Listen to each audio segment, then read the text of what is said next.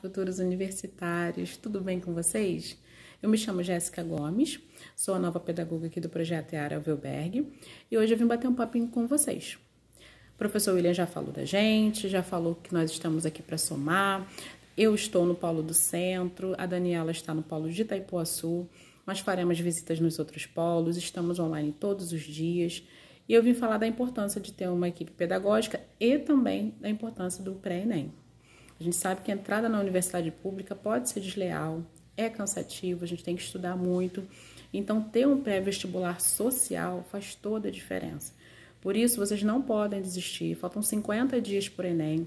É uma preparação contínua. Tem dias que a gente sabe que está mais difícil, mas aí é que a gente entra. Né? A equipe pedagógica está aqui para ajudar a alinhar os estudos, a fazer o plano de estudos, a conversar, a interagir com os professores, a tirar dúvidas, a dar dicas. Então a gente pede que vocês nos procurem. A gente colocou os números no WhatsApp.